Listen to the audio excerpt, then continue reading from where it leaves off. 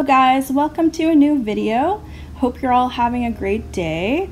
Um, in this video, you might notice that I'm using some of James Burke and Courtney Diaz's collage sheets, and they are super fun. Totally recommend getting them.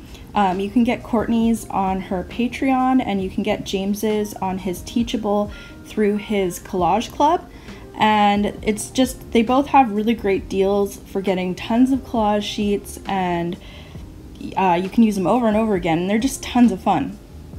So anyway um, uh, i also used my friend um, rosie from pin and inko on instagram um, her illustration there of me amanda april Liz and Teal, and um, we're like a friends with pens pen pal group. And so Rosie illustrated all of us.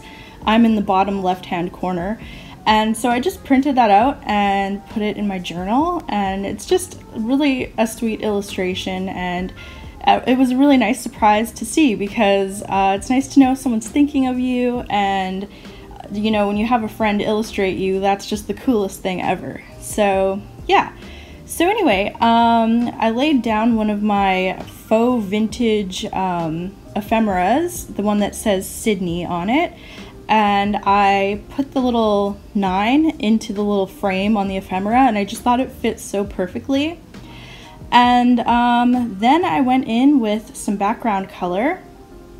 Uh, I at, at first I kind of regretted putting the orange in because it was quite bold against the teal but it ended up working out in the end. And if you mix those two colors, they kind of create mud, so you have to be careful.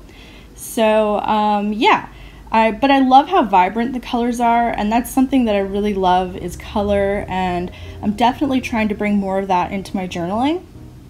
And to be honest, my journaling is still in its experimental phase. I guess it'll always be in an experimental phase, but it's kind of still in me trying to figure out what the hell I'm doing and what journaling is and all that. So, um, yeah. And isn't that illustration by James just so beautiful? I love it so much. And so that was the first one I decided to use out of his illustrations. and um, I had some trouble deciding where to place her. Um, I thought she would look really cute in that corner, which I ended up doing but I also thought about like cutting her and putting her right in the middle of the journal because um, I thought she would make the transition between the two pages work a bit better. But I ended up not doing that because I thought if I cut up the image would it look weird with the um, middle of the binding of the book? Like and I didn't really want to risk that.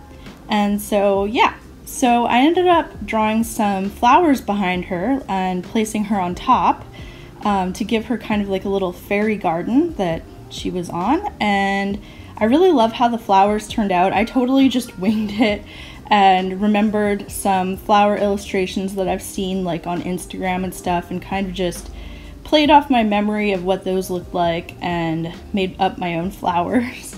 And I added some lines to the top and bottom of each petal because I think that makes them look a little bit more real and like there's creases in the petal. And yeah, so like I said, I really love how it turned out, and I definitely have to do more of these floral drawings in the future because they're just so much fun, quick and easy, and they add so much to a page. So that's me trying to figure out where to place the fairy. Like, I had no idea. And then I was like, yeah, I'm gonna keep her up top there. So that's what I ended up doing. And unfortunately, part of her was off the page, so I had to trim it off but um, I think it, the placement ended up looking really good. And let's see, what did I do next? Um, hmm. Oh, I added some Copper Candles watercolors by Rachel, designs by Rachel Beth. Um, you can see it shimmering on the left hand side and it is super, super pretty. And I try to add that in whenever I can because it just adds such a nice touch of glitz and glam to a page or an illustration or a painting.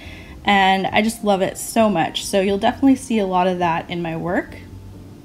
And um, the washi tape I just put down was, I believe, called Mark's Maste or Mast tape. And it's really great for um, just putting like where you want to cover something up. And I usually cover up the Japanese quote at the bottom because I can't read it, so it doesn't really help me by being there. And so, yeah, I just covered it up with the date and I'm trying to add in these Japanese calendar day pages to every page, but sometimes they don't really work with the layout. But I am trying to use it up because when I bought it, um, I I'm pretty sure I was thinking about using a different journal that didn't have dates already on it. And um, I ended up getting a Hobonichi kind of spur of the moment, as I mentioned in my previous videos. And so I had all these dates for the whole year, and I was like, well, I gotta find a way to use them, otherwise, it's just a waste, right? Because they have 2021 written on them. So, yeah, I just used some of my Zodiac washi tape um, to tape that date in. And what, what was really funny about that washi tape was um, I got it on Amazon, but it was listed under kids washi tape. And I was like, this is like so cool. Why would they just say it's kids washi tape? I don't know. But anyway, um, so here I am taping in the my friend's illustration. And um, I decided to tape it in as a side tip in. I was originally going to just glue it or tape it down, but I changed my mind. And now I'm flipping through all of my sticker sheets, and I have quite the collection now. And some are from Sticky Club, and some are from various independent artists. And of course, we have Gudetama, because what is a page without Gudetama? He's just so cute. And oh, those are some of my own stickers. I just put the fox down. And then I tried to move it because I was like, oh, I want to put a mushroom illustration there to kind of mimic the mushroom sticker that I had on the left hand side. So I just ended up um, putting the mushroom uh, illustration on top.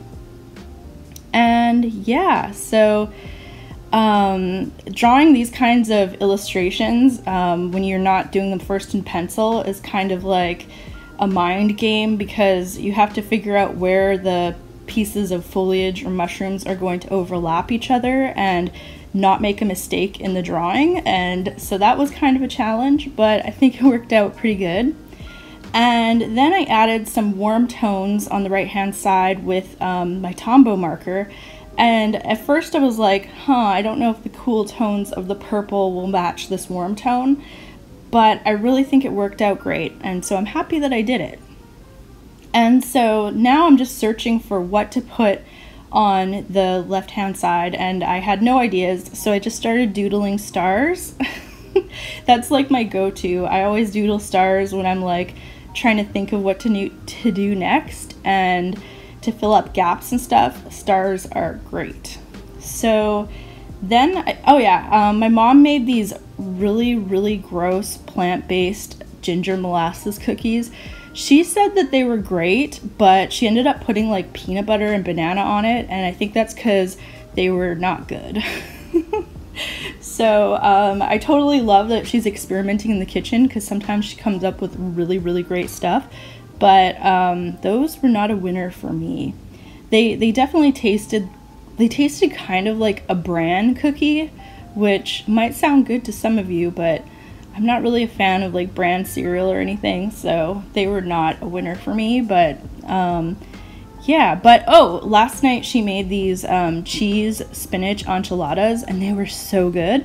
So yeah, sometimes there's good things, sometimes not.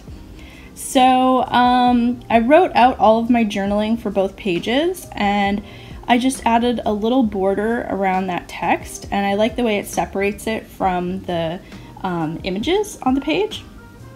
And then um, I think that's my Say Cheese 2 scrapbook paper, and it's a uh, Disneyland inspired scrapbook paper collection, and I got it several years ago because um, I don't know if you know, but I'm like totally obsessed with Disneyland and the history behind it and the attractions and I love watching YouTubers who go and explore the parks and talk about everything to do with it. And so um, I was hoping to go back to Disneyland uh, a few years, like within the last few years, but financially and with COVID, it just hasn't really worked out. And so um, I have all this like Disney ephemera and scrapbook paper, and I haven't used it yet. So I just put it in my um, pile of stuff to be used because I thought, why not? Disneyland can be enjoyed even if you're not there. so um, yeah, I just added it in. And some potentially good news is that Disneyland will be opening, I believe, at the end of April.